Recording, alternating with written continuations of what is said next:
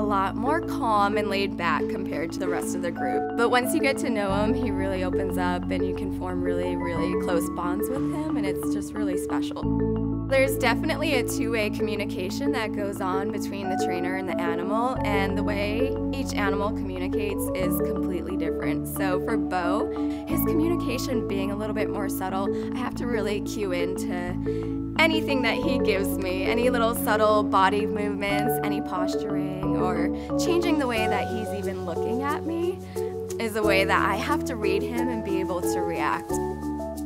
Working with Bo sometimes takes patience and it takes understanding. So you can't expect Bo to fit in the box that other dolphins do. Bo is one that thinks a little bit more outside the box. So I don't try to change Bo. I accept Bo for who he is. I was fairly new and they asked me to train Bo's haul out behavior.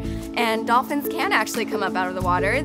We ask them to come up onto the shallow ledges so that we can check over their bodies and make sure they look good. And for Bo, hauling out of the water onto other surfaces is something that he considers very challenging.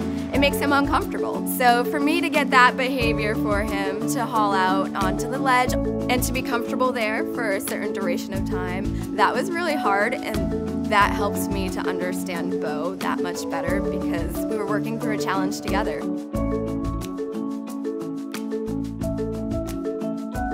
Just the relationships that we're able to form with them that make it really special to work with dolphins.